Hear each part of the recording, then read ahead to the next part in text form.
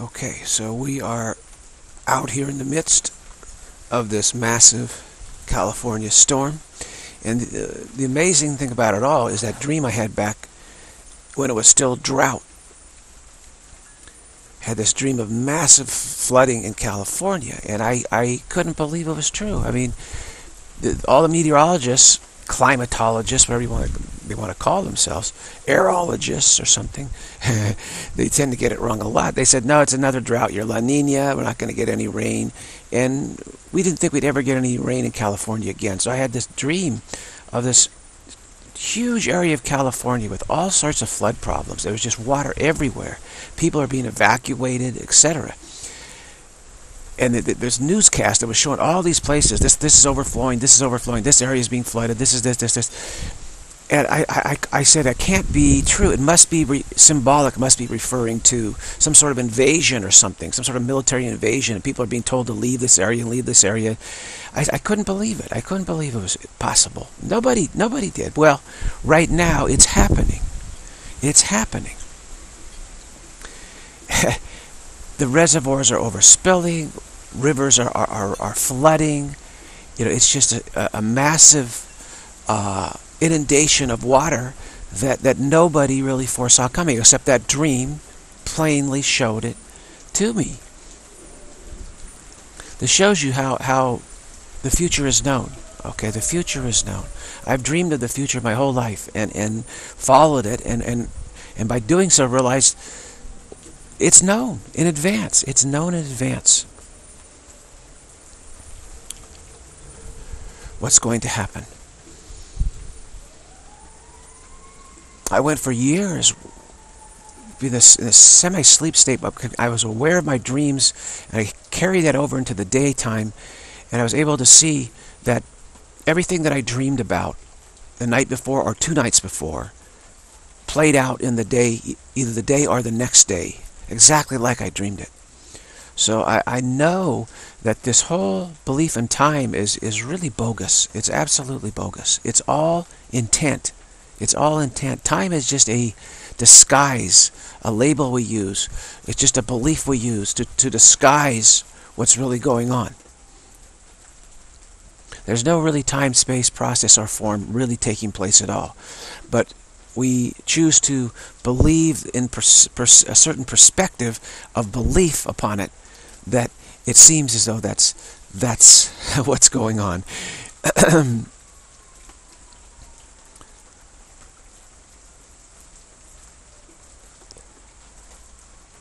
Very bizarre, but I've I've certainly uncovered the lie through through you know consistent investigations my whole life and, and looking and say, hey, wait a minute, I, I I see that this is going to take place. And then later on it does. So why is it later on?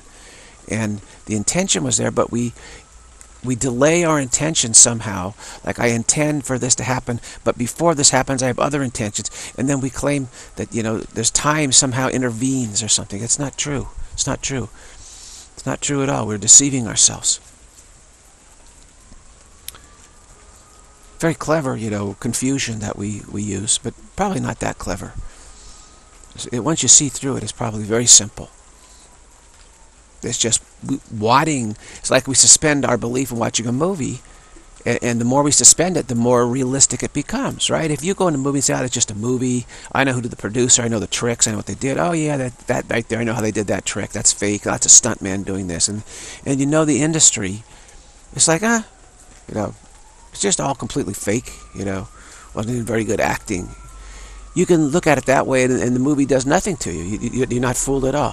Whereas if you go in and, and you just completely suspend all rational reasoning altogether and just and, and feel this is this is actually real, this is really happening, then the whole movie takes on this feeling like it's real and becomes this um, you know experience for you. Like oh my gosh. And you come out shaking and trembling. Like I was so moved by it. Oh my gosh. We're doing the same thing with existence as we do for movies. And for me, I don't even watch movies anymore at all. I have no more no no interest in movies. I found out how movies are made.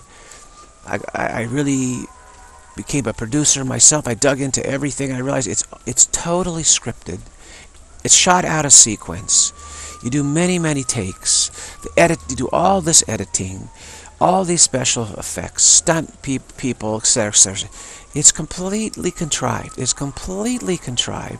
All the script writers, they, they write up the scenes, they put it on a, paste it on a storyboard, you know, and, and it's just, it's just very clever contrivance, actually, that really requires us to suspend, to go into dis, uh, suspend disbelief, and, and to believe it's real. It's so the audience is in connivance with the movie industry, for sure. That's why they cultivate, you know, moviegoers. They want you to be a moviegoer. They want you to believe this is real. This is really happening. And to immerse yourself in that belief. So they, they tried to teach you that when I was young. I got so mad. I got so mad. I said, look, I'm here to teach you that, that what you, you've done this, what you're doing is you're trying to immerse yourself in a conditioned existence to make believe it's real, when it's not at all. It's a total contrivance. It's a total contrivance. So we got all sorts of emergency vehicles. You can hear them in the background. I mean, it. we have been lashed by this storm now. It, it really came in midday. It, it, it, last night it was some heavy, heavy stuff. There was a little break in mid-morning. Then it came in, and then, then the winds finally arrived on the tail end of it all with, with driving rain. Uh, just, you know, sheets and sheets and sheets of rain going every which way. And I'm sure that the morning time is going to bring a, a lot of flood news everywhere, really. I wouldn't be surprised if, if, if most river, a lot of rivers uh, go over their banks and start flooding. And there's a lot of a lot of uh, troubles from this, no doubt about it. Uh, but no power outages so far, which is great. If we had a power outage here, it, the lights would go off, and that's it. I could still do this. Maybe the laptop would have battery power. I could do audio still. I could, but um, yeah.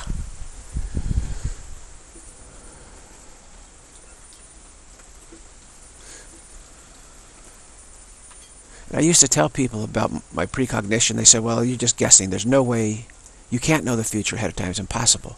And I, so I just shut up about it. But I continued to pay great attention to it. Great attention to it.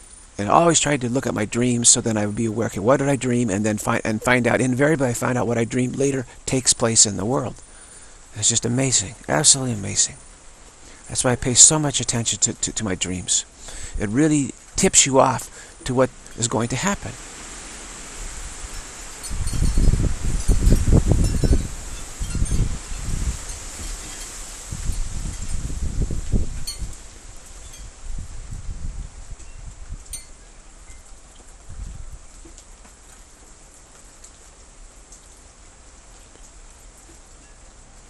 And I used to use it, use it when I was going about my day daytime, and and still do try to some extent. But I really used to use it when I would. I'd suddenly be aware, oh my gosh, this is exactly what I dreamed about last night or the night before, and then I remember what I dreamed about. And I said, okay, then this happened. I said, wait a minute.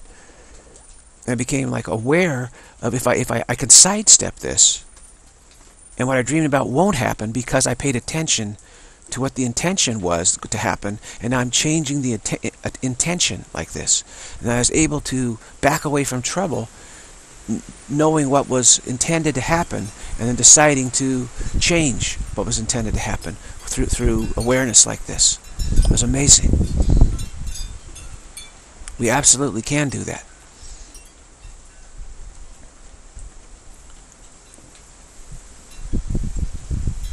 Because I, I reconsidered. I said, do I really want this to happen? This is what I intended to have happen. But do I now, in thinking, having the dream ahead of time and thinking about it, I, I said, you know what? Maybe I can have something better happen. And so then I changed the script of what intention is going, I intended to happen, and it changed.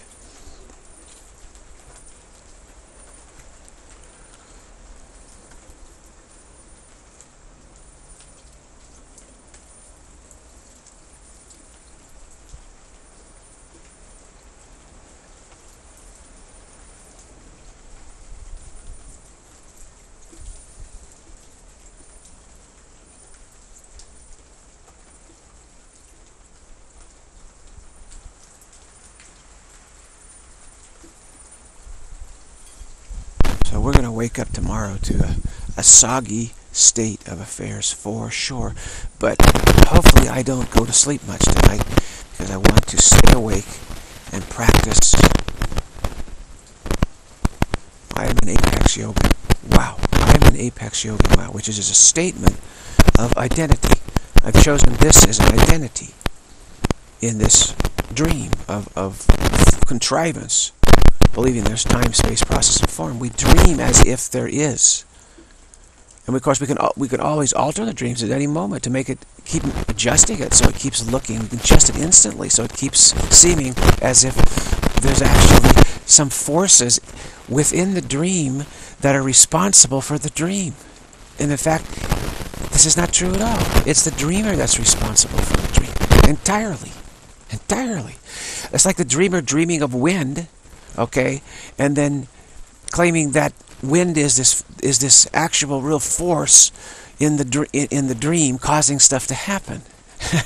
it's not it's not it's the dreamer dreaming of wind causing stuff to happen. That's the only thing that's happening. The wind isn't happening. Physics isn't happening. Okay, it's not happening at all. That that's imaginary. But the power of our imagination is unlimited, except we can't change what we are. We're an idea in the mind of God. That That's always so. But as far as what we can imagine, other than that, we can imagine anything we want to. So we can imagine a universe of physics, but the physics is all dream physics. It's all dream physics. And we just uh, decided to be very determinate about our imagining. So it seems like it's very, you know, stable and steady, but the, the, the gurus bypass the imaginary physics of the dream all the time. And they can do any, any, anything they want. And, you know, scientists scratch their heads and they say, we can't figure it out. You people must have been deluded. Never happened or something. and we said, no, it did happen. You know, and there's so much evidence because it's all imaginary physics. It's an imaginary universe.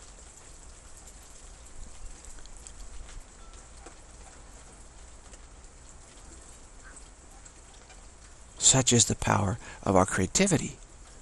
And we want to use it in really bizarre, strange ways. We, we imagine forces, physics, chemistry, you know, all this stuff, physics.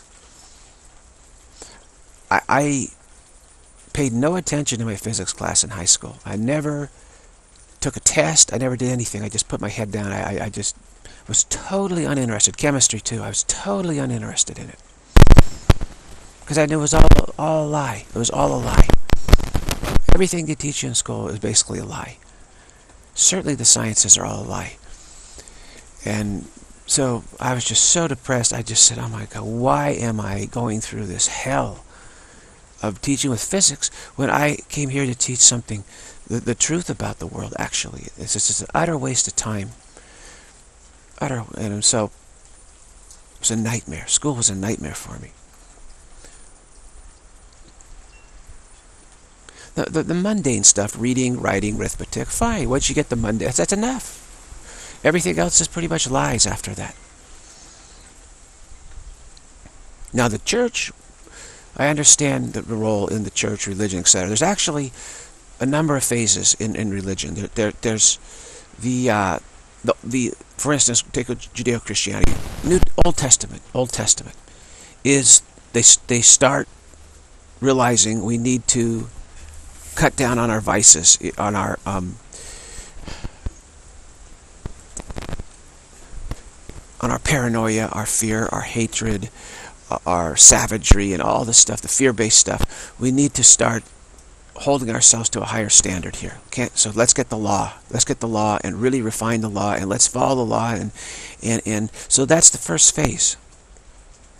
That's the um, Judaism in the Old Testament. Okay, that's the first phase. The second phase would be the New Testament of Jesus Christ. And he said, okay, look, you've done a good enough job with the law. Now you get to take a step up. And I'm going to tell you the, what the truth of what's really going on here. But I have to tell it to you in a very sort of uh, vague way because you can't really understand it very clearly yet. You're still not advanced enough. So, but this is the Jesus spoke the truth, but he put it in parables and metaphors and stories, all, all sorts of ways, right? And kind of the way he spoke, it, it, it was somewhat cryptic, and and, and and he said, look, you, you don't understand it very well right now, and you're not able to. But later on, the Holy Spirit will help you develop your understanding, and you'll understand a lot better. And I can speak more plainly at that point. So that's the second phase, Old Testament, New Testament. And then, and then the third phase would, would be the, the, the Catholic Church. Catholic Church. Catholic Church came in and instituted a cultural standard a higher cultural standard, which tried to institute compassion, forgiveness, miracles, uh, and tried to, in, in, a very strict code of, of morality, you know, sumptuary laws how you look, how you dress, how you present yourself, how you treat one another, and they, and they, they reached a you know much higher standard. Uh, and this helped this helps a great deal because it ultimately can lead to monasticism which is actually then beginning to do right spiritual practices that, that liberate you from this horrible dream of doubt. So, so Roman Catholicism might be said the third step. And then the fourth step was Protestantism, because Roman Catholicism has to had to pamper people because this step was so difficult. They had they had to, to pamper them and, and, and cut some deals and say, okay, let's bring in the goddess from Egypt, Isis goddess, and we'll call her the Virgin Mary to make you feel comfortable. But she, you know, she kind of lets you get away with some stuff, and, and, and, and she's not as strict as Jesus, you know. So, so don't worry if if if you start messing up with Jesus, you know, the goddess will protect you and you can feel comfortable. The mother will have your back and stuff. So, so they, they pampered people with, with the Virgin Mary sort of theme calling uh, the, the god Isis, the Egyptian goddess Isis, Virgin Mary was just they just labeled her that. Wasn't the real Virgin Mary at all. But they did that, and then it it it started to get pretty lax. It got really lax, didn't it? Because people started backsliding and saying, well, that's okay." You know, Virgin Mary has my back. It's she's not. She's okay with it. You know, she understands. But my mother understands my you know bad behavior, and it got so bad that, that those who really had a lot of momentum said, we can't tolerate this anymore. It's, it's, it's, it's too much backsliding. So what happened was the Reformation, which was the fourth stage, was Protestantism. Okay, And Protestants said, look, Virgin Mary saint, that's fine, but we're the focus is on Jesus, and let's get back to Jesus, what he really said, and let's try to live a stricter by what he said. So they were very, even stricter. So they held themselves to a stricter morality. And they really, you know, the Puritans, for like, were Protestant, right? Very, very strict. And this, so this, this is the uh, one, two, three, four. This is the fourth stage. And then out of Protestantism, those who really applied themselves came a fifth stage, which we would say would be New Thought, which would include Christian Science and all the various New Thought uh, movements that happened in the world. And these, these were very advanced Protestants who were capable of really tuning in more clearly to Jesus' real message. They were able to do it. They were able to read the Bible in, in a certain way and get in, intuitional clarity because their, their morality was so, they were so disciplined that they didn't go diving back into their vices when beset with some doubts. So when they were beset by theological doubts, they would pray, they would contemplate, they would be quiet. They had all these really very good disciplines which enabled intuition to arise and, and, and give them a chance to get familiar with, with the new truth. They say, oh my gosh, you know, this is amazing. I'm seeing truth like I've never seen it before. so that was the fifth phase. The fifth phase is a new thought movement. And then the sixth, that led to those who are really familiar with the new thought movement. It led to A Course in Miracles, Jesus' return with A Course in Miracles, which is the sixth phase. Now, I so I was a sixth phaser. I, I was well, well, for it was I took to A Course in Miracles like a duck takes to water. I really did. And then you might say there was a seventh phase. those who are really, really, really good at A Course in Miracles and really took it to heart and, like I did for 15 years, just absolutely, you know, full blast. There was another book by Jesus called Journey Beyond Words. And that took it to a higher level, like a seventh phase.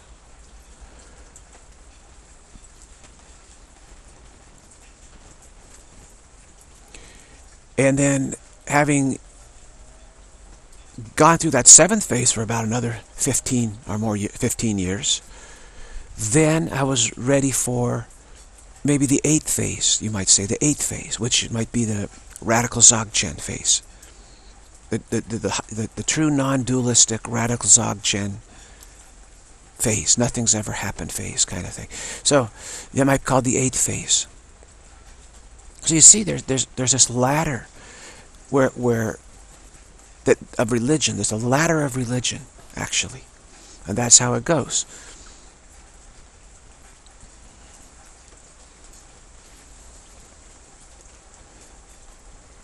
Maybe there's a ninth phase, and maybe there's the tenth phase is liberation. Something like that, yeah. so I've been in this eighth phase for a while now. And now, now I'm, maybe the ninth phase is actually meditating in the proper way using just this, which is apex yoga, might be that really actually utilizing it, might be the ninth phase. Uh, I am an apex yoga and wow, just using just that. And then literally seeing the play of, of Maya and becoming aware of it. And the 10th phase might be awakening. So we could say there's like 10 phases, 10 phases on the path.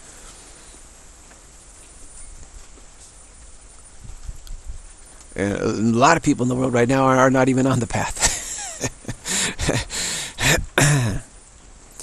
Haven't even started it. Juvenile delinquents.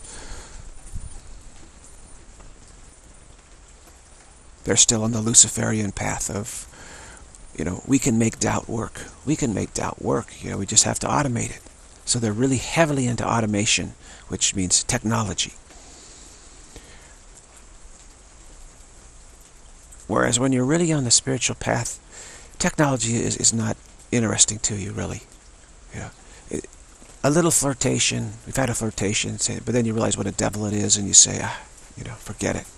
I got, that's not the answer I'm looking for at all.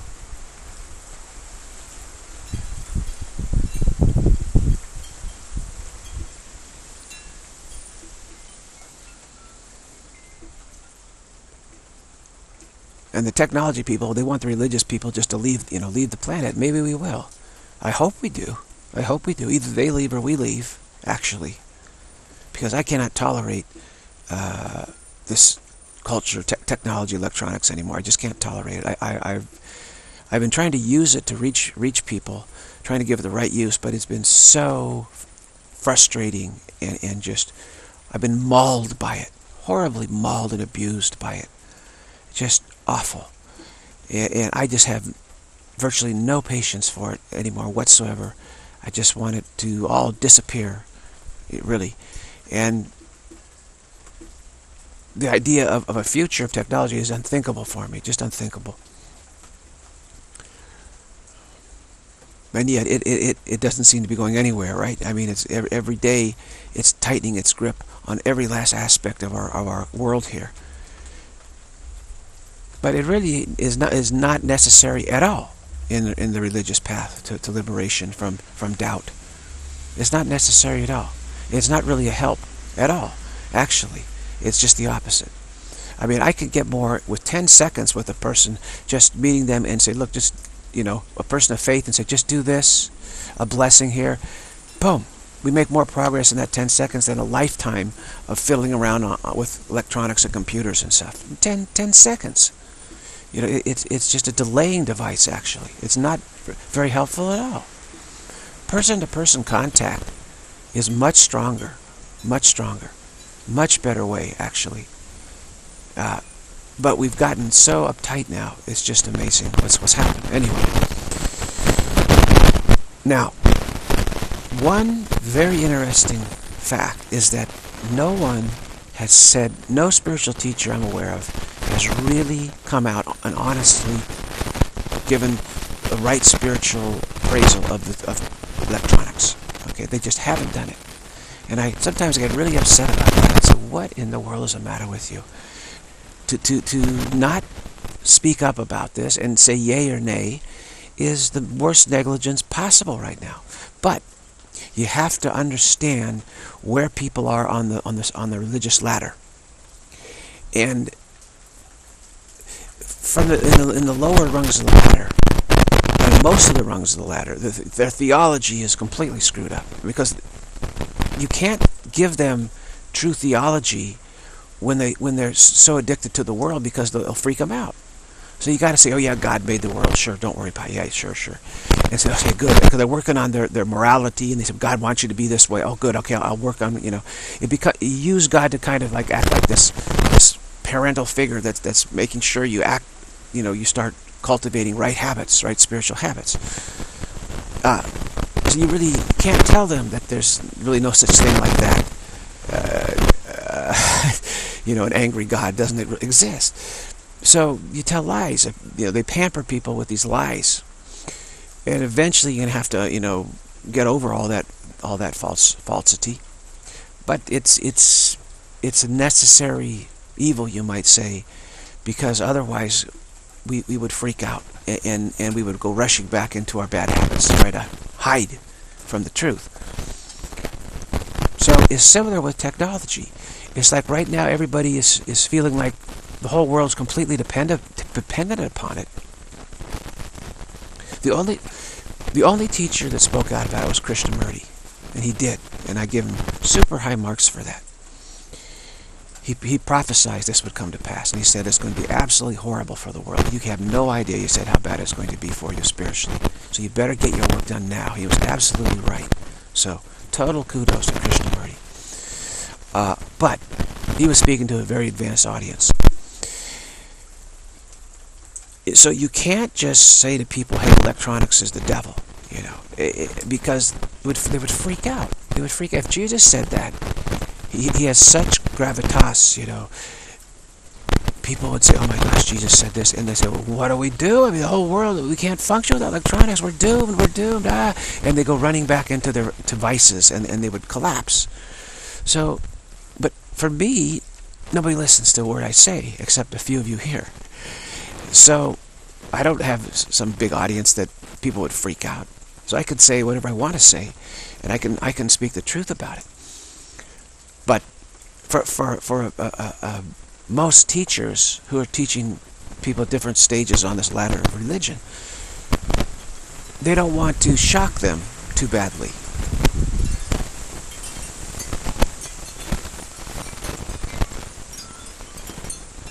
They'll kind of say, yeah, well, you know, yeah, there's some problems with it. Don't worry about it.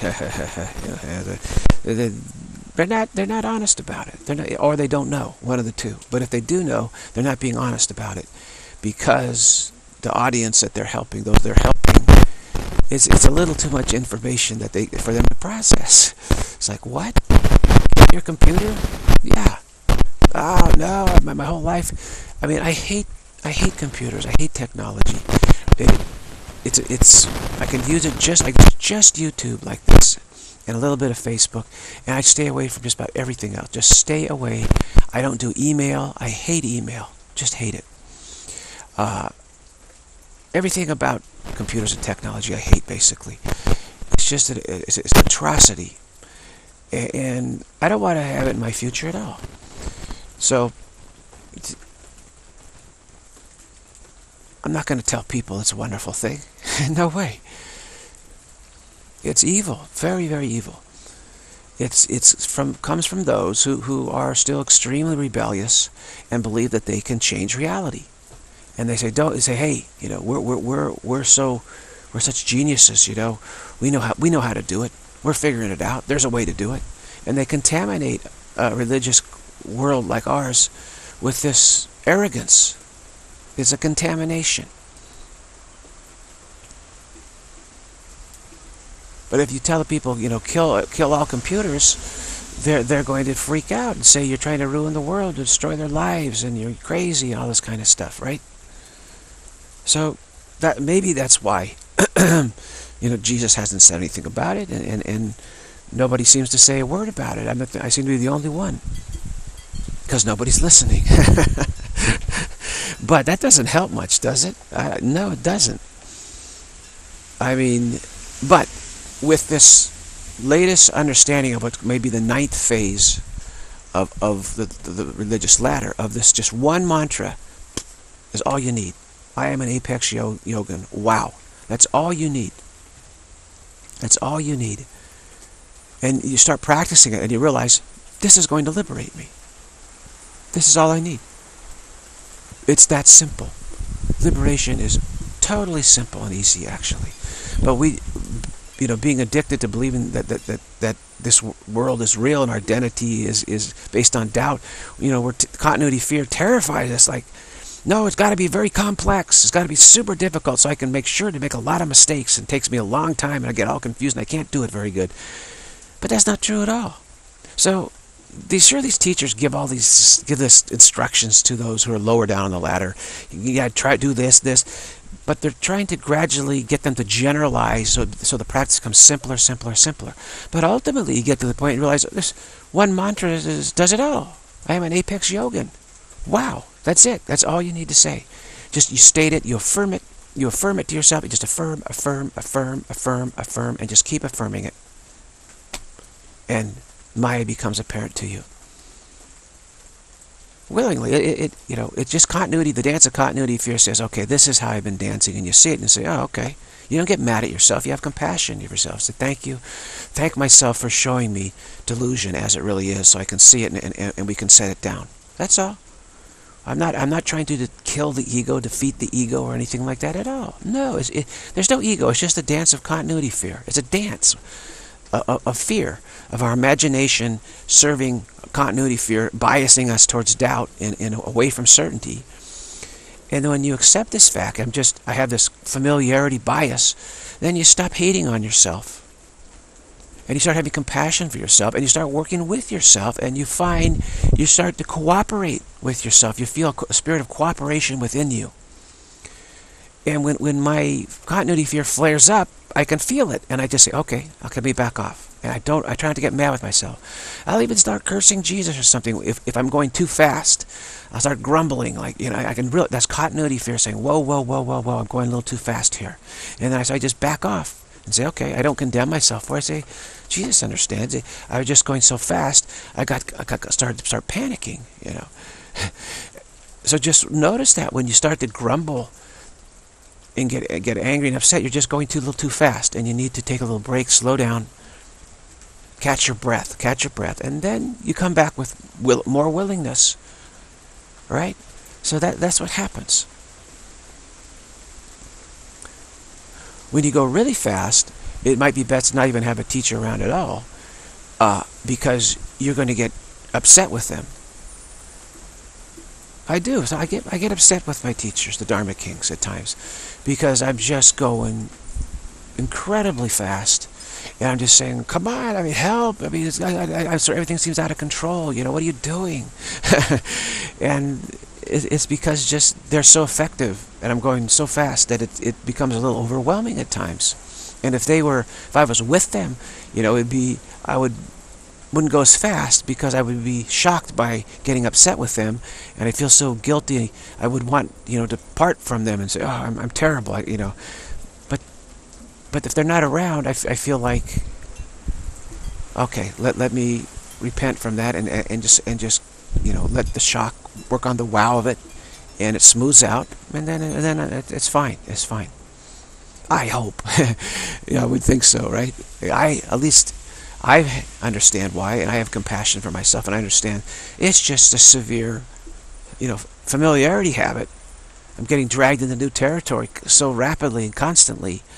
Sometimes I just start, you know, throwing a tantrum, saying, "My gosh, how come you don't give me more help or support? You know, give me more support. I don't know what's going on." It's like that.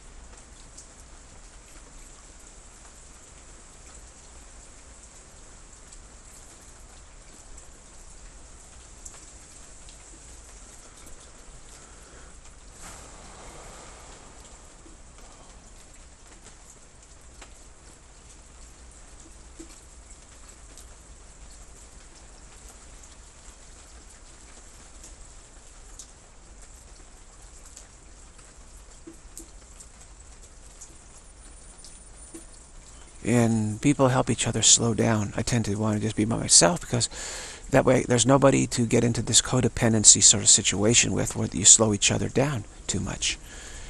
And they say like I'll, I'll I'll play the pampering goddess if you if you pay, play the fool for me and slow down.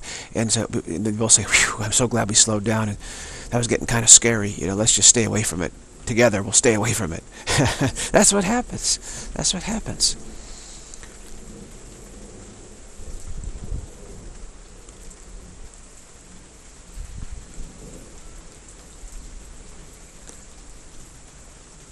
Whereas for me, I, I, just could catch it and say, well, okay, wow. Let me full stop on the wow and just be quiet and settle down, be quiet. Catch your breath and then you can take off again real fast. And you don't have to, there's someone there saying, no, no, no, wait, wait, don't leave me behind. I'm not ready, I'm not ready. it's just my own continuity fear that I have to deal with, not somebody else's.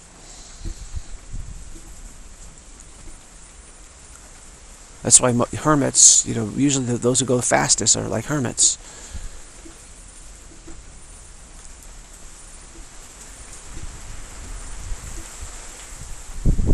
Wow.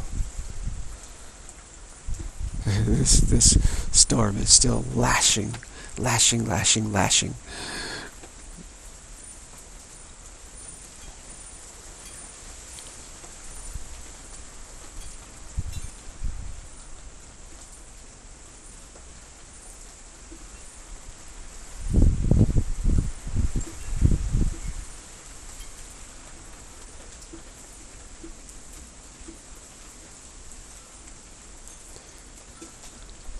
There you have it. The, the have compassion for religion, understanding the overall viewpoint like this. You, you can you can see and understand why it is. You start out with those who have just incredibly severe continuity fear, and they just feel like that doubt has to be right. They have to make it right. It, they're, they're, God wants them to make doubt real, and, and, if they don't, God's going to destroy them. You know, they're they're really in that mode and then you say okay okay yeah. But God also will destroy you if you don't stop killing people willy-nilly and attacking others and stealing stuff and fornicating and and etc all this stuff you know. God's also going to get mad at you if you do that so you better clean up your your your life too. And they say okay okay okay okay. And that's the first step the first step. Right? The 10 commandments is the first religious step. Is the step 1 on the ladder of 10 steps.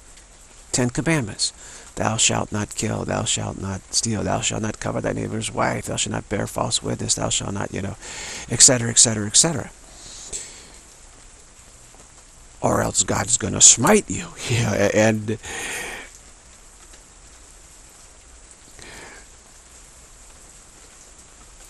so that's a start. That's a start. And then Jesus comes along and says, well, no, God's actually a God of love. People said, huh? and they have to figure out how to do that. Well, okay, well, he, he, he hates you and he's angry, but if you if you do penance, then he loves you. they kind of you know, combine it. We're still we're used to this angry God, and I just got to love. How do we make this transition? And so they have all this penance, and it's the Catholic Church, you know, the, the Eucharist and the penance and confession and stuff. He says, God will forgive you. He'll forgive you, but you have to do all these different types of penance.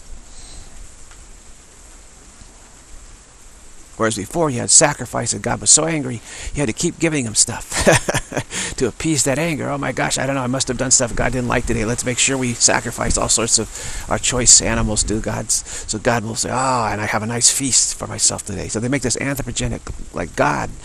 And so you have to work within the context of what their people's theological expectations are. So Jesus shifted everything into the New Testament, but but it you know it has to be a bridge Catholicism was a bridge to Protestantism, really. But Protestantism still has, well, then they used the hellfire thing to keep people in line, their morals in line, which is, uh, which was, yeah, there's still some, that fit within their, at least low Protestantism. Then high Protestantism sort of realized, no, God's just a God of love, and it's just love, and, and all this hellfire stuff was just to help us um, fashion a life worthy of capable of contemplation, higher contemplation, which is true. Higher contemplation requires all these virtues to just to, to be very, very familiar and accepting of the virtues of great patience, humility and patience, delayed gratification, fairness, giving a fair hearing. Let's give a fair. Jesus said, "I just want you to give me a fair hearing to the Course in Miracles. I just want a, just give me a fair hearing." And I said, oh, "Yeah, I'll give you a fair hearing." I decided, I'm I'm going to give you a fair hearing. I had enough virtue in myself. I said, "Okay, Jesus, that's a fair request. And I like like like a judge I say I'm going to give you a fair hearing. I said the ego you just shut up over there and let Jesus and the ego tried to interfere like crazy you know like I was running I was running a courtroom for 15 years trying to keep the ego from objection objection objection. I said no no no no. I said look he had I, I said I'd give him a fair hearing. That's what I'm going to do. And so it was a lot of strain there but I gave him a fair hearing and then I said okay I say, and I've had a fair hearing, and now my judgment is, I, I'm, I'm i want um, to ask for some further information from Jesus. Okay, and so I got Journey Beyond Words, further information. Then I said, okay, now I want to sort through this, and be, you know, before I make a ruling, I want to sort through this, and so I spent all this time sorting through it all. And then I understood continuity fear, the familiarity bias, full stop and the wow techniques, useful techniques to get us over the, the final steps and then I and then then the ego is is like, I, you know, it's like, okay, we're we're we both agree that there's what's what's gone on and and there's forgiveness and compassion, and it was all you know just get familiar over familiar with doubt and that's caused the problems, and we, forgiveness is there and and so there's no conflict in me anymore. So I I, I don't. Uh, the ego doesn't really object like it used to. I understand that it's my own brakes in the car that I'm using. And uh, I said that the, I had this dream where the world set me free. This world of psychotic lunatics set me free. They said, we trust you, go get us help. You know, we need help. I said, okay, I'll do what I can do. But they, they trusted me. So the, the, I, because I gave a fair hearing and, did it in, in a gentle, compassionate, understanding, reasonable way, this developed this trust you know, within within my own being, being, my own mind and being, that I, I trusted myself. At, at a deep level, the world trusts me also. It says, okay, you know, he's he's, you know, he's going to do what he can do to help us. Because the way he went about hearing things was, was a just way. You know, it was a just way in understanding that it's all continuity fear. It's not some evil ego, you know, trying to destroy us or anything like that, really. I mean, I, yeah, of course, a miracle starts out that way because it's still rooted in Protestantism, high Protestantism, which still has that some of that is still there, and Jesus needed to really start out, and then gradually he changed his tone, changed his tone, and became very much the focus was very positive but he raked the ego over the coals quite a bit. and it was okay. I needed to hear that too because you know we had to have some reason why are we suffering so bad. We couldn't understand his continuity fear. And um, when I finally got it, it was just oh, just continuity fear, nothing other than that. Then you know I realized okay, we're on the same page. Really, I said okay, is it that's way better, way better teaching way higher teaching. That's why Jesus said, there's no, no one to forgive, you know, no one to forgive. You just made this silly detour into fear and you got, you know, you've gotten too used to it and, and defended your fear. So he strikes a much more concili conciliatory tone as going forward as you get more and more used to it.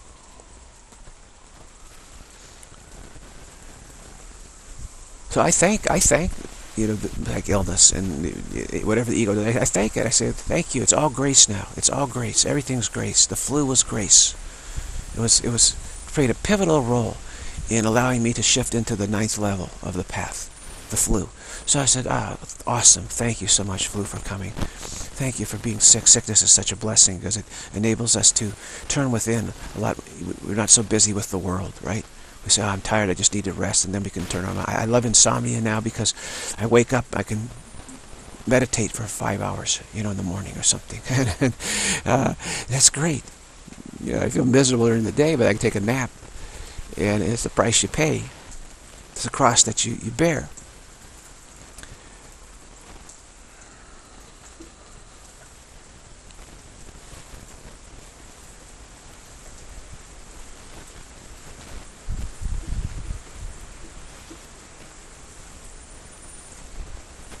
Now, when people are afraid to go on to the next rung of the ladder, they, they can become very problematical. Very problematical indeed. They defend their territory and want to drag, make sure you don't go any higher because they, they, they when, when you stall out, you, you, you try to get control over others by, by you want to control others for your happiness. You think, okay, that's as high as I can go, but I'm still not happy. So, you know, I need to have the world act the way I want it to act. And, and so then it becomes problematical. So always, there, there's a lot of resistance to the next level. There's a lot. Look at the, the Old Testament, how much they resisted Jesus. And then look how much Catholicism resisted Protestantism, right? And look how much Protestantism has, re, has resisted uh, New Thought to some degree, and certainly, of course, in miracles, right?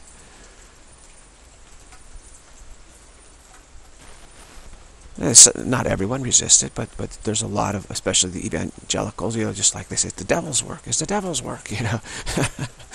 and uh, they're not high Protestantism, but still, they're they're they're good people. You know, they're they're they're they're good Protestants, and they they have a lot of um, truth going for them, actually. But they're too scared, you know, to go much further. A lot of them. Some some do. Some do. And then in New Thought, you have those who, who think it should stop there, and they should be the high, you know, priestesses of, of New Thought. New Thought was, was, was, was mostly women brought that in, actually, and so a lot of women, those priestesses, they, they, they, they wanted to, to, to, to stay there so they can be, you know, the goddesses. And so, of course, the miracles came along, and they're like, huh, you know, I, I gotta you know, be able to to try and talk them off the ledge, you know, or what's this about? And, and they still want to maintain their, their dominance in new thought, but it's just not there. And then, and then in, in of course, in miracles, a lot of them don't go on to uh, journey beyond words, for instance. They say, no, no, it's just the course. It's just the course. That's all that Jesus meant for us, and we don't need. You know, and, and they block that out. They have their own kind of culture they want that way. And then, uh, but it gets easier, like Journey Beyond Words from there. It, but it took quite a while to get into the Longchenpa, you know, Apex Yoga teachings. It's not. That's not easy. It's not easy to get there. Uh, but I've been able to get there. Um, but we always want to feel like we're kind of the, the top dog of, of the rung of the ladder, you know, and, and, and set up, say, okay, everybody, this is the top rung, and I, because because you get really good at it, and you don't want to start at the bottom again on the next rung. It's so difficult. It's very understandable. I mean, I hated that in school, having to go from elementary school to, you know, junior high school as a after fifth grade. I didn't get to be in sixth grade in the elementary school. I hated that because I was waiting to finally be top dog, and it never happened. Never happened. Uh,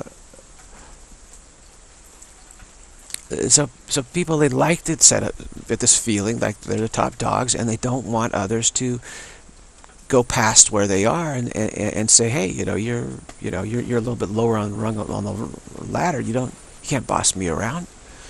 They, they take umbrage at that. They kind of and they kind of want to pull you pull you back down to where they're at. And but I'm not interested in being pulled down not interested in that at all. So I, am interested in, in, advancing to the tenth rung. Ultimately, ultimately, there's nowhere else to go. I'm not going back down the, the ladder. It's not. It's not possible.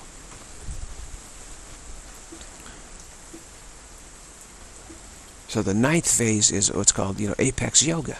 Apex yoga is the ninth phase. Ninth, ninth rung of the ladder. And that Longchenpa says, you will be liberated. He promised me, you will be liberated.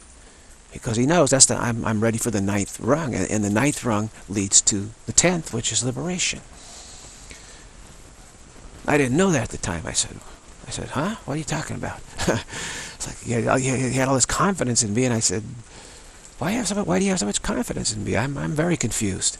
But he understood. I've already gone through the other phases, and I had nowhere else to go uh, except Apex Yoga. Ultimately, he knew that's where I, I, had no choice. I had to go to that destination. He knew that I would. I'd work at it. So he could approach me with confidence. He says, I know, I know you're going to get there, so that's why I have confidence in you. But I, didn't, I was quite perplexed at the time. I said, man, that, that you're putting a lot of confidence in me, and I don't I don't know if it's justified, really. Because I, you know, even with Journey Beyond Words, I, I still really didn't see just the vast simplicity of it all from the Apex Yogin standpoint. Wow. You know, it's so simple. Again, we, we love complexity because it seems to protect us from success. That's why. But now I'm at success is just I'm an apex yogin. Wow, that's it. that's what I am. I'm apex yogin. In other words, I'm I, I get it. I get it. I'm practicing get getting it more and more and more and more and more. I'm an apex yogin. That's all I do. That's what I, where I'm at right now. I'm not on the other rungs of the ladder anymore. I'm not even a Course in Miracles, miracles or, or, or Journey Beyond Words or any, anything. I'm, I'm an apex yogin. Wow. I'm an apex yogin. That's what I am.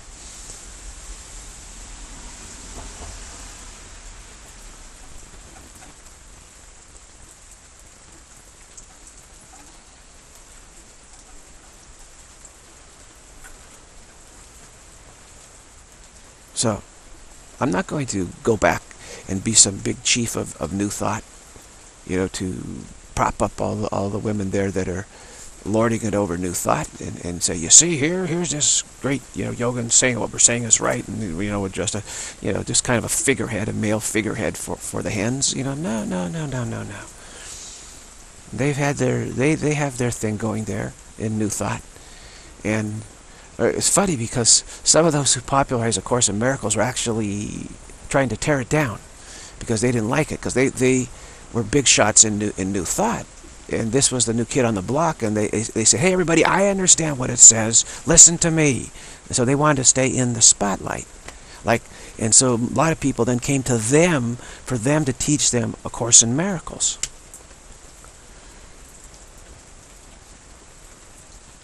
Because they they wanted to remain, you know, the, the big the big the big priestesses on the block, or the priests on the block, uh, and they didn't want you know people to really study the course for themselves. They wanted to feel dependent upon them to tell them what, what, and that New Thought was pretty much that way. There's a lot of teachers in New Thought.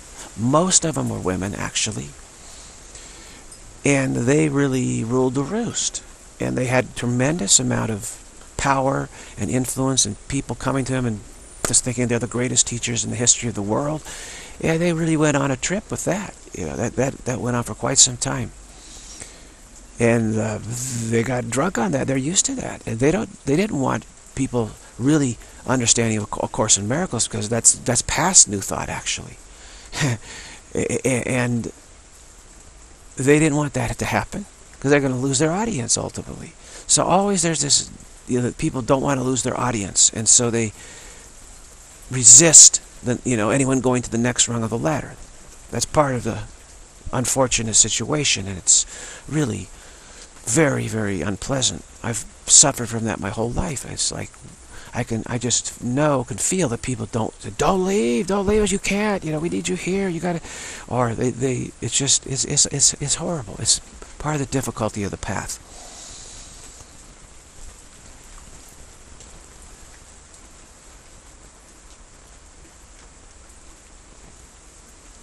And new thoughters think like, well, maybe A Course of Miracles can help me with my new thought or something like that. But no, it, it it's it's designed to lead you up to the, the ultimately tenth tenth stage of the ladder, where there's no more ladder at all. That's where Longchenpa resides. There's no more ladder. No ladder land. Uh, Padmasambhava, one insight settles it all. One mantra settles it all. They know that. The, the top students, they get the truth. You know, the, the, the ones on the eight, you know, the higher steps, they're brought along. They're brought along to understand. I just, it's so simple. It's completely simple.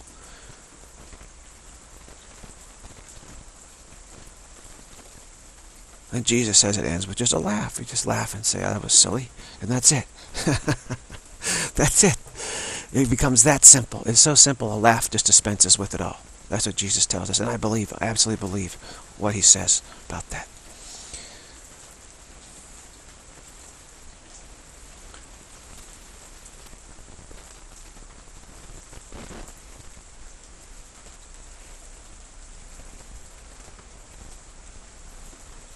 But we, we on the higher stages of the path, you know, we don't lord it over others. I mean, we, we, we realize that, that the, the Dharma kings are way beyond us, okay? They're way beyond us.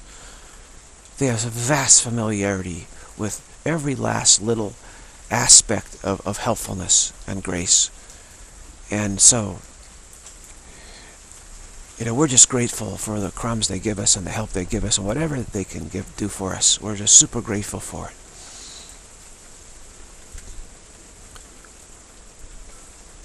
So I would say on the path, humility is probably the greatest virtue, uh, along patience, you know, long-suffering, forbearance, steady determination, patience, but humility, which keeps you from getting to that trap of, of reaching one rung of the ladder and then lording it over others and, and, and going on this, you know, spiritual ego trip is what happens. Is stay stay in the realization that you, you know, have an, have more territory to cover, more familiarity issues to deal with.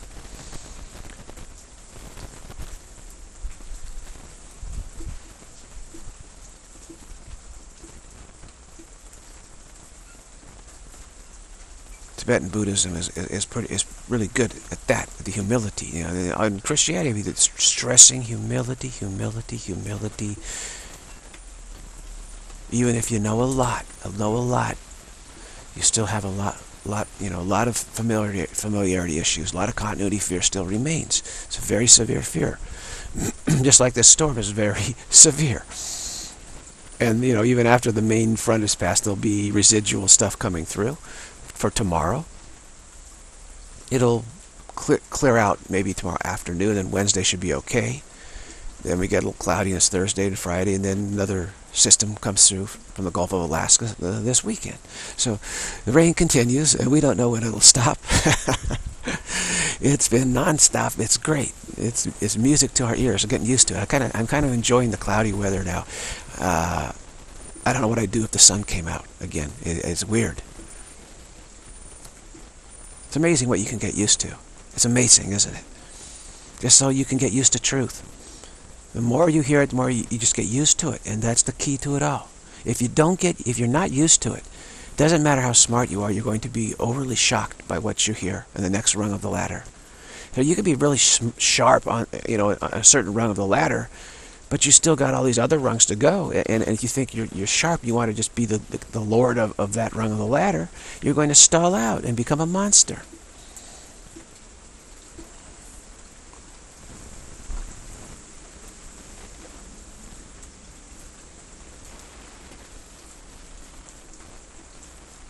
So this world has done a great job, by and large, structuring things properly. And now the, the, these tech, these secular humanist tech people have come in, and they're you know they're monsters. They're morons. They're not even on the path at all. They're trying to automate doubt, make everything, make doubt, you know, all mechanical and robotical, and and so they they you know they can reinforce their notion that that physics is real right? That, that everything runs according to mechanistic principles and such. And everything can be programmed to do what they want it to do. You know, total control, total control. They're control freaks. They didn't tell us that when they first came here. They just said, oh, I got these nice little shiny gadgets. What do you think about this? Uh, oh, no, we're just here for a little while and just passing by, you know. They did their little snake oil dance. And so we thought, oh, they're, they're kind of harmless little nerds, you know, but not so harmless now, are they? They decided, like termites, they said, I just want to taste the foundation a little bit here. And they said, hmm, hey, it's kind of tasty wood. Hey, hey, come on, family, come on in. There's plenty of wood here. And they bring their families and their relatives, and before you know it, the whole gang's there, eating, you know, eating away the, the your foundation. That's what's happened. They termited. They've termited the world.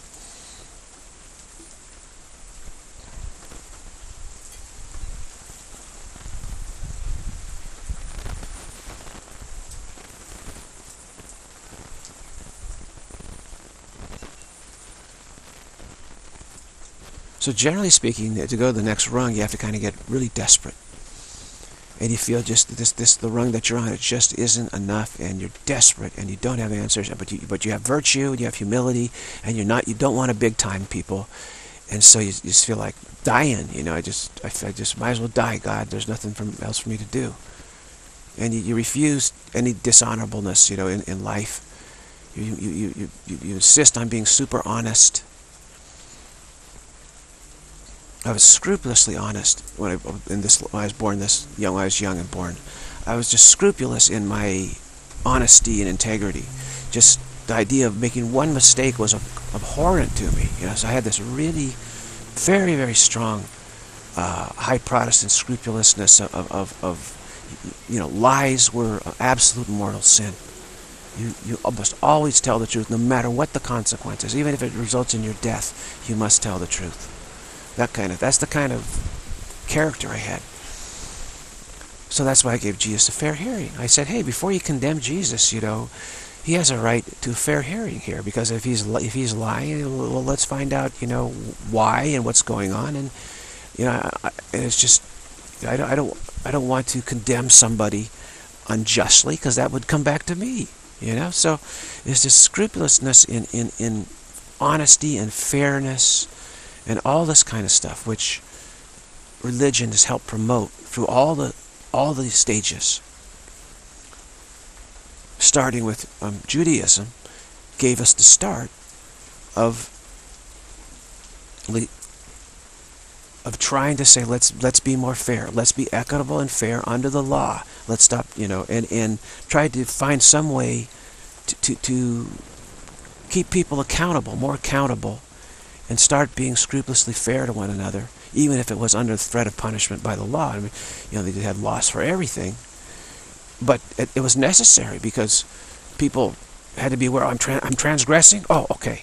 You know, I'm going to be punished. Oh, wow, guys, punished, severely punished for they didn't. You know, transgression was like so automatic for them. They didn't. They needed that. But but once you get used to not transgressing, it you don't need all these laws telling you what to do. You you, you know how to be fair to people. You just know how to be fair.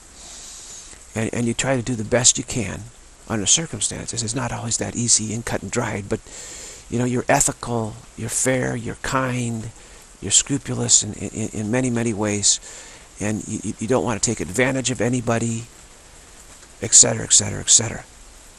So they set up rules of business, rules of law, rules, and you had to operate within those rules. And there were some, there were some that, of course, took advantage of them, but by and large, they, they, they said, okay, let's, let's set up a structure and we have to function within that structure, and we must do so. And that helped reel in the freewheeling, you know, piracy that was going on before. Helped reel it in. So I was super scrupulous.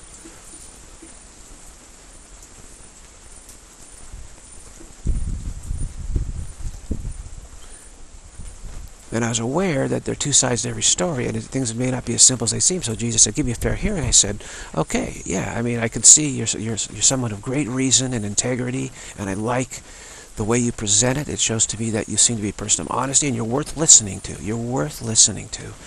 Because what you're, what you're saying tends to contradict some other stuff. And I didn't know it was Jesus. I said, well, you say you're Jesus. I don't know, but I'm to give you a fair hearing anyway because you asked for it. And I feel you asked for it out of... Uh, uh, uh, that you feel it's truly justified to ask for a fair hearing. So I'm not going to condemn you, could say you're, you're wrong without giving you a fair hearing from my standpoint. It's like that.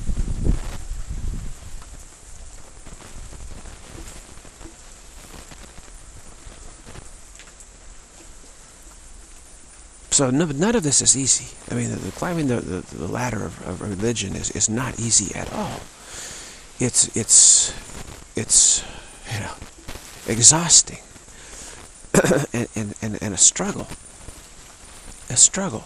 So you have to realize this world is, is, is okay to struggle here. And we shouldn't demand this, this high-class, streamlined, materialistic existence, which requires you you can't really go through the religious struggle and at the same time be this super successful materialist. Not really. Not really.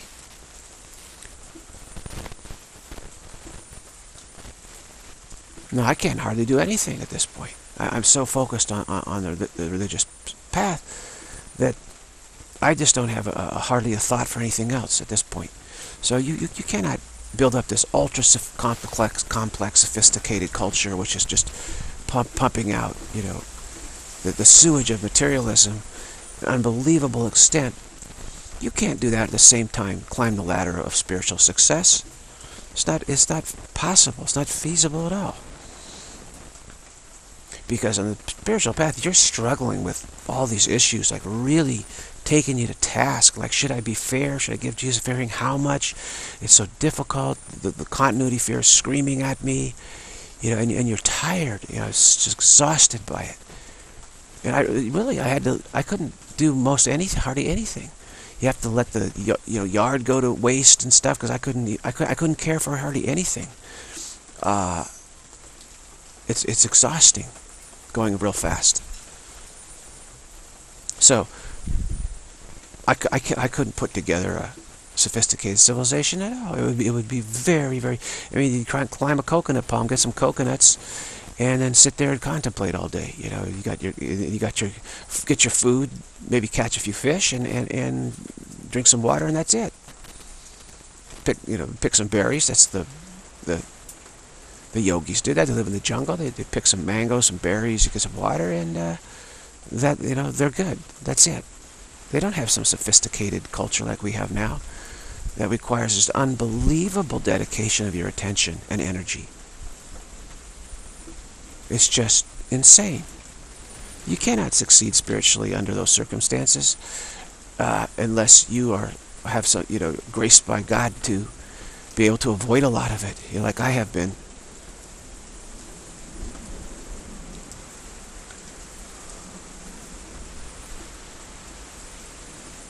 In those cases, being sick is a blessing because you don't have to participate in all that stuff if you're fortunate enough to have some some place to stay and you know be taken care of. Um, so this world's gone to hell, to say the least. It's gone to hell, and I'm not sure how it's going to play out. Actually, maybe we don't want to know. maybe it's worse than we realize.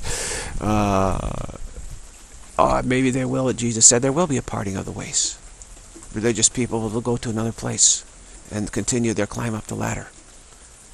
And we'll let the, you know, rebellious ones, they can have this world, you know, good riddance. Because everything that's beautiful and wonderful about this world, you can bet that Jesus, ha Jesus has incorporated, incorporated all that into the place that he has prepared. All the beauty, everything that we love about this world, pretty much so, will certainly be there.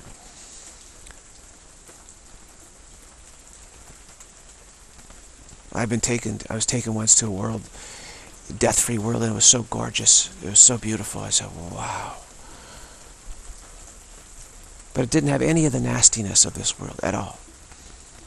So why do, why do we need the nastiness? Oh, we don't need that.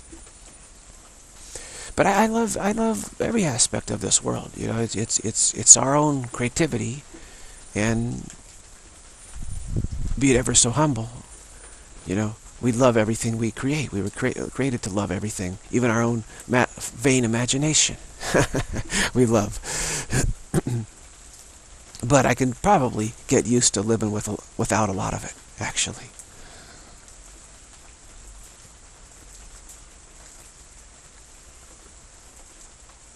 But, you know, a sunset over the Sahara sands and just the, the stillness and quietness and the, you know, the desert, it's just like, wow. It's so desolate. There's some sort of beauty of absence there, right? And it, so you, you can see beauty everywhere here, sure. But I don't think that you're going to miss miss it in, in, in another uh, reduced intensity zone. The, the, the, ability you have to interact with it in, in a beautiful way is such that you're going to say, oh, this is so much better. This is so much better that that world there was really hell. I mean, be it ever hum so humble, there's no place like home, but it really was hell. That is for sure.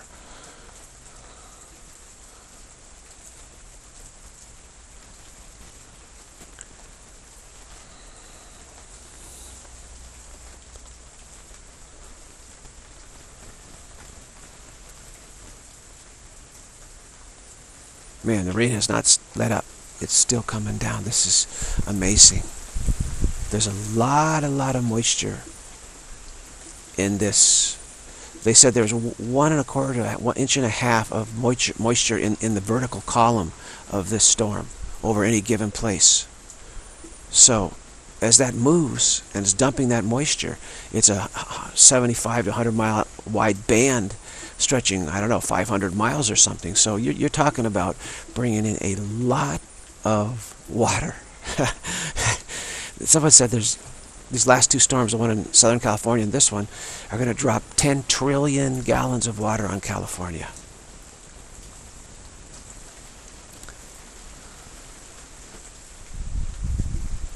That's pretty cool.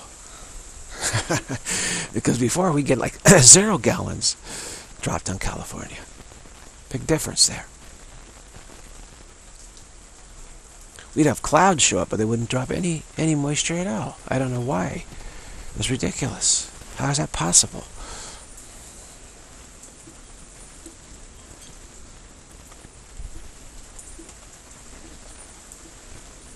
But you have the right rotation here. You have a low sitting up just north of this storm, pulling in subtropical moisture.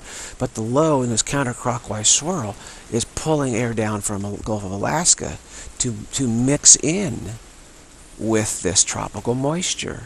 So that causes the moisture to drop. This is kind of a chilly start. It's not, it's not that warm. snowing in the mountains. Whereas before, we, would get these, these clouds that would, you could feel the moisture, but, but they, it, none of it would drop.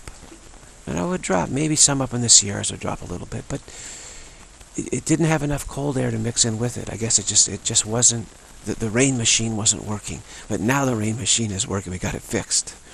That's because we had that really high ridge that was blocking in the North Pacific. I was blocking any of these cold lows to to to uh, or, or cold pressure areas to come come down. I would call them high pressure because cold air is heavier than warm air. So if you have a lot of cold air, it should produce high pressure, actually. So high pressure systems spinning, and then a lower pressure system of warmer air coming, being pulled in, coming in, and then mix mix the two together. Why you're getting all this windiness right now. It's it's the cold air really coming in at the end of this. Rain machine is going on right now. It's a beautiful thing.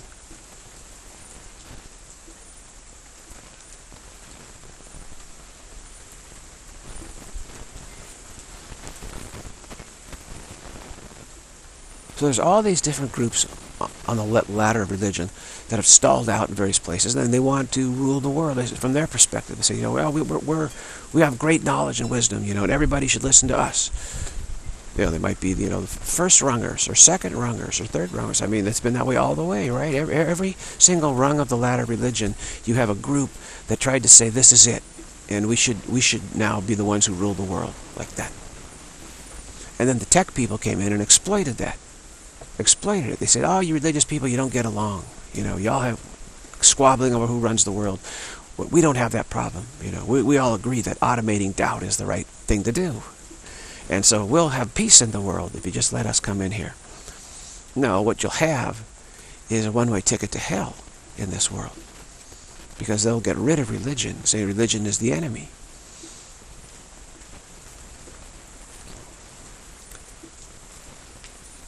Instead of ecumenically smoothing out the ladder and helping helping uh, those who are stuck, helping them get to the next rung, which is what you have to do, which is what you have to do.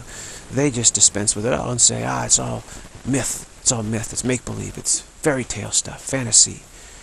And let's just, let's just scrap it all, get rid of prayer, get rid of God, get rid of, you know, make a total secular society, and let's just make us all prosperous here. Except we're like constantly having to upgrade and fix glitch after glitch after glitch in every last possible way. is just hell. It's hell. Except for the ones who set up these companies who are, you know, vacationing on their Hawaiian islands and stuff, you know, uh, as they rake in the money from us, us, you know, for us fools, laughing all the way to the bank. They have, you know, the whole thing idea is you have other people to, to fix all your glitches. You know, that's, that's why people are racing to be super wealthy now, is because only the super wealthy will be able, able to even tolerate it at all, because they'll just have a team of IT people. You know, they can just hire they just hire people. You know, fix this, fix this, fix this, and they, they have a personal secretaries who just something's wrong. Okay, they call this up. Technician comes out, and and so their life seems to be you know life already. It was, it no, the problem. Everything's running smoothly because they have to have vast amounts of money to to pay people to constantly. I mean, we work. I work for super wealthy people. They're constantly having to pay people to fix all the glitches. So they need they need millions. I mean, they need hundred billion dollars to. And even then, they're they seem to be like getting upset. Okay, but they jet off to the you know these Caribbean islands and all the time. They're jetting all over the world to their retreats all over the place. And they'll call by phone. Oh, something's wrong here. Wrong at my house. Is okay. Just you know, here's my here's my assistant. You know, you know, they line up the help. The help comes in. They fix it real fast. Whatever it costs. I just just make sure it's done when I get home. That's that's what they're like. Make sure it's done when I get home. So they come home and everything seems perfect. They say, "What? What's wrong with the world? There's nothing wrong with the world." You know, they're the ones who are promoting culture now because they've got it rigged in their favor and say what they want to tell everybody, yeah, culture's fine the way we have it. It's fine. It's working great. And they use all their propaganda and media, etc., to keep trying to convince us it's great. And meanwhile, we're saying it's terrible. It's terrible. What are you talking about? So it's better to scrap it all. Really, it'd be better. I don't know how it's going to be fixed at this point. And, and so the Bible says that Jesus is going to come back and he's prepared a place for us and we're going to go to that other place. That's what it says. I don't know. Jesus hasn't told me that uh, directly, directly per se. I've certainly gotten invitations to other realms to dwell there, which are much better realms than this one. Uh, beautiful, beautiful, with, with, with meditation retreats in, in just, just unbelievably beautiful nature no no technology really that I was aware of. Um, just I said, wow, this is way better than this world.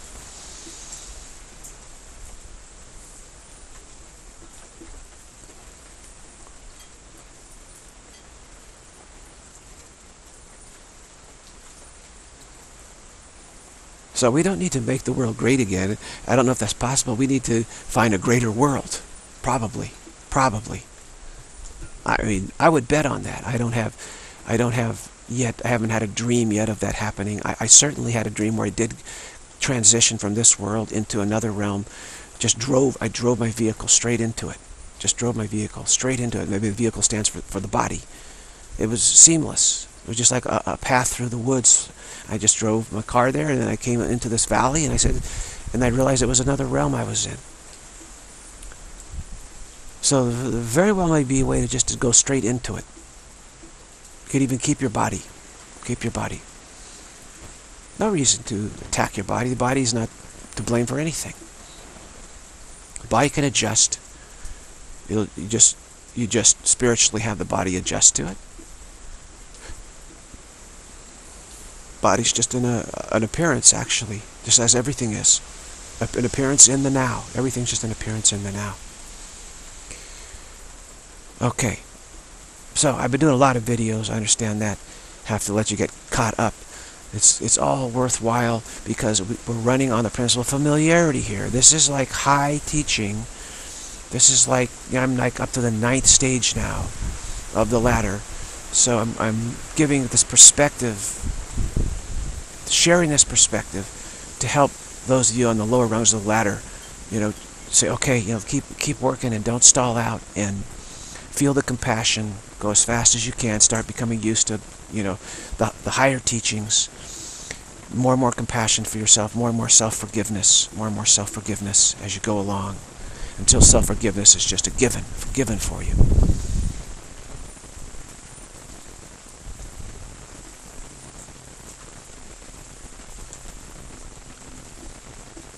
Tibetan Buddhism has been difficult, or, or at least Dzogchen, because they, they don't even bring a lot of the stuff up. It's a given for them. you know, a lot of this stuff's already it's a given. You get to that point, you don't need to go over any of this stuff. It's just do this practice and that's it. One insight settles it. Oh, you're done. so they don't really get into other stuff. It's just it's this simple. Okay, it's just this simple. That's all. Just relax. Jesus says, relax your mind, release your thoughts, and let them go, and that's it. okay. Uh, okay. Yeah.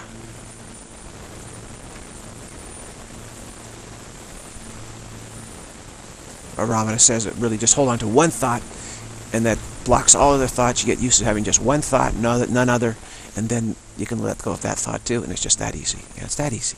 But steady determination is required. And he, he dispenses with most of the other stuff too, because you, th those who come to him for direct help have to be very, very advanced. So they really don't need, doesn't need to go over all that other stuff on, on the earlier stages of the ladder.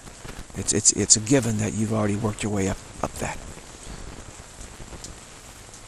And we have vestiges of, of, the, of the other old steps of the ladder still with us. A few vestiges dragged along, sure. There's overlap. And you have to be kind to yourself, realize there is overlap. So, but gradually it fades, you lose interest, it fades, you gain more interest in the next step. It goes like that. And you just keep working on familiarity. That's the whole key to it all. Because if, you, if you're not familiar with something, you're going to be biased against it, no matter what anyone thinks. You can put on a show of being all intellectual, but you're still very biased, and the bias comes out later. You can you can agree and say, yeah, yeah, I understand what you're saying. Yeah, yeah, yeah, I'm smart enough to understand what you're Billy's saying. Yeah, I'm smart enough to understand what you're saying. I, I get what you're saying. And then later on, all the the doubts and questions start coming to undermine your position, you know. They, so familiarity is biasing them against it. So don't work at the level of, of smartness. Look at, work at the level of familiarity. Work at always work at the level of familiarity, which requires a time and effort. To, to you need to put in the effort and listening and, and let, listen with your heart, uh, meaning with the heart of familiarity rather than the bias of emotion and intellect. Doesn't mean listen with your emotions. It, it, it means li listen with your integrity. Bring your honesty and integrity into it and realize you have a severe bias. So uh, account for that bias. Make sure you account for the bias. And say, wait a minute, let me not jump to judgment here that I'm saying it's wrong. I said, let, let it settle in and settle in and settle in. And then once it's settled in and I'm fam really familiar with it, then I can start looking at it more carefully. Okay, but at first, don't jump on it intellectually because the bias is going to bite you. Get familiar with it first and then let your reason really look at it more carefully. And then you'll see ah I see this I see this. Oh, I didn't see that before. Wow. Isn't that amazing? Yeah. That's how it works.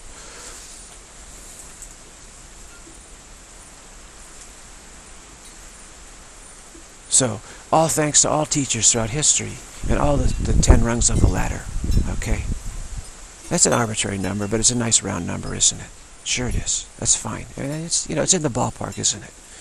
And and, and when and realize what from what I'm saying, you don't quibble. Quibble is familiarity biasing you against it. You know, you're trying to find some reason to reject the whole thing, but you want to seem smart and say, well, oh, I saw a little technicality here which invalidates it all. You know, that kind of thing. Or, or yeah, I, I, I agree with what you're saying, but uh, I don't agree. There's a little technicality, and you want to put yourself on the same level. Like, yeah, I'm I'm, I'm so smart, I noticed uh, you made a mistake here. See, that that's all bias rearing its ugly head. When you get familiar you don't with stuff, you don't play those games at all. You understand. You understand that, you know, you don't have to be pedantic about it all. Right? No. This is for the sake of illustrating the overall picture. So you, you understand there is a big framework, there is a ladder. Whether the rungs are 9 or 10 or 11 or whatever is really entirely besides the point, isn't it? The fact is there are those stages, okay?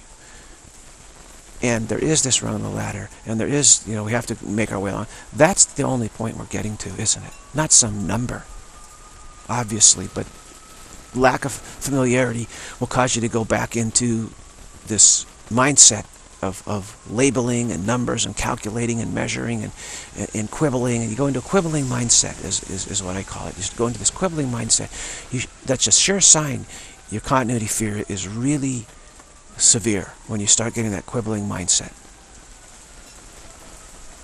And fortunately, those who listen to these videos have done a fabulous job of not getting into that quibbling mindset. It's a, it's a testimony to your progress. Really, it is.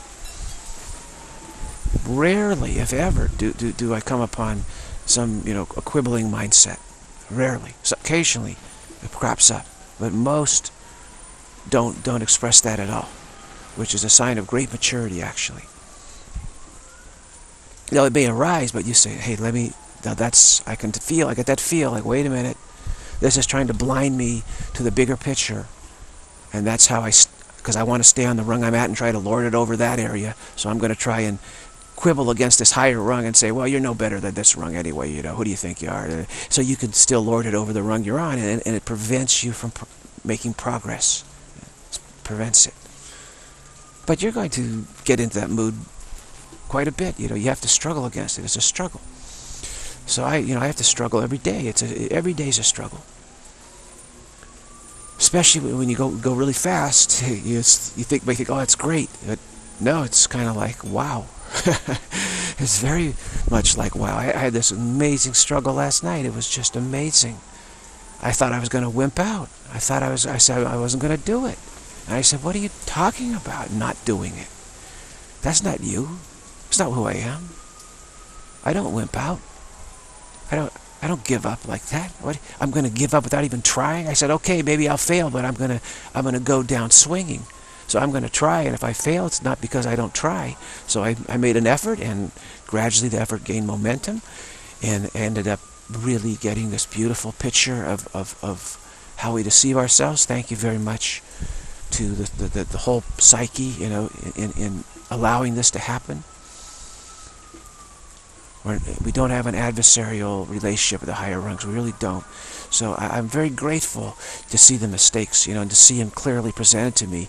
And I try, I try not to get angry, like, oh, you were trying to deceive me. No, it was just showing, was showing me this is how I've been deceiving you all this time by showing you this beautiful screen or something.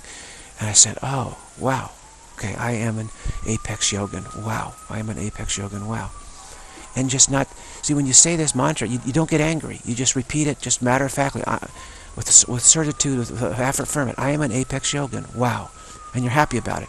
You don't react negatively to anything that arises. You, you notice it and say okay this is trying to deceive me but I am an apex yogin wow. And at this stage that stuff appears to you so you can recognize it so you, you, you know, so it's very helpful that it appears.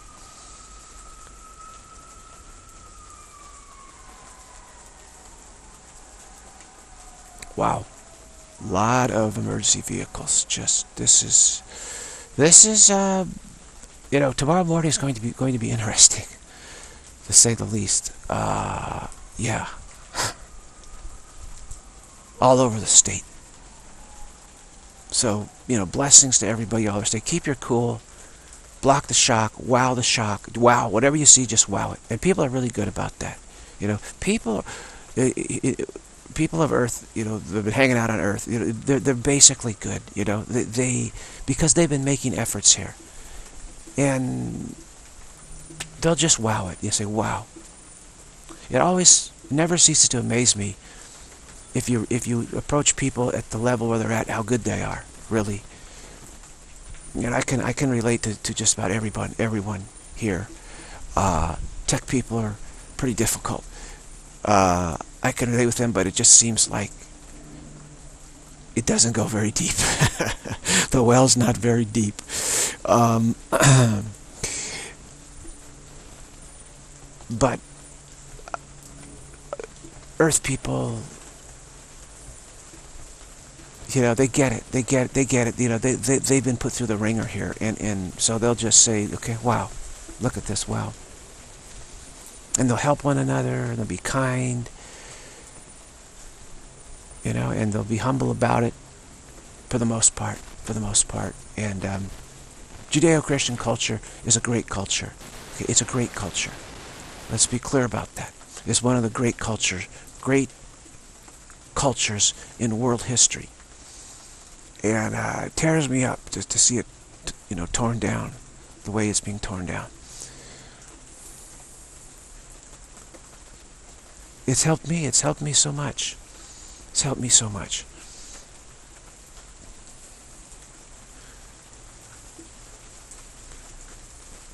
Because they've made a lot of efforts throughout throughout the, the thousands of years. They've suffered a lot. They've made a lot of efforts to try and to try and go back home. You know, to try to get back home is what it's really about. Which is really just to drop this dream of doubt. and realize nothing ever happened. Doubt is, was never real, had no real effects at all. Doubt only affects other doubt. it doesn't affect reality at all. There's no doubt in reality at all. So you, really, we never left home. We've just been dreaming that we left home, that we left into some realm of doubt. So we've all made so many efforts to go back home. You know, we're, we're wearing the scars and, and the difficulties on us, all of us here. And we, we got we all have a ways to go, don't we? So we need to keep working at it. But this this pipe dream of, of technology is just wreaking havoc here. You know, the dinosaurs are re reaping, wreaking havoc. Dinosaur minds of, hey, let's, you know, let's just, uh, we can create a material, materialistic utopia. Come on. We don't need God. You know, that's, we can make doubt real glossy for you. That's a real bummer. So, we'll find out soon, soon enough, how this all plays out. But, yeah, I want to thank everyone in the world. Everyone in the world has played a role in my success. This is true. This is what I feel like. Because whoever has helped me, which has been myriads of people, they all have been helped by so many people. And those people have helped them have all been helped by so many people. So really, any kindness you do to anybody, that in some way that kindness has shown, shown up to me. It most definitely has. You may not know by what circuitous route it takes, but it most definitely has shown up. So really, I have everyone to thank. So I'm not likely to forget about you. You know, this this is why the world set me free. They they, they realize I'm not going to forget about the you know, the you know you and, and your effort to get home. But I don't know how it's going to play out. Really, I don't know how it's going to play out. But one way or another, we will, you know, help. You'll be helped to continue your your journey home, the journey of awakening, of, of losing interest in the dream of, of doubt, really. It's losing interest in it. You don't really awaken from it, you just lose interest in it. they call it awakening, but it's it's it's really losing interest. You just lose interest in it, and it just sort of slips away.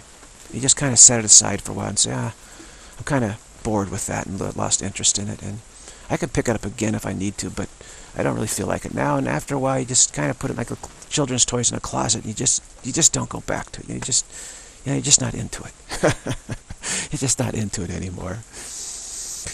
It's really more like that, I would say. I, I feel that way. And and you, and you, you don't hate yourself for it at all. You love yourself for the creativity you put into it, you know. But you're just not interested anymore. It's just like that. Yeah, I loved it. What a long, strange trip it's been. And, and, but right for right now, I'm not interested. Maybe down the road, I might be interested in again. But you know, maybe not. But for now, no, I'm just not interested anymore. It's like that. It's just a simple, a simple loss of interest. Really, it doesn't have to be anything dramatic at all.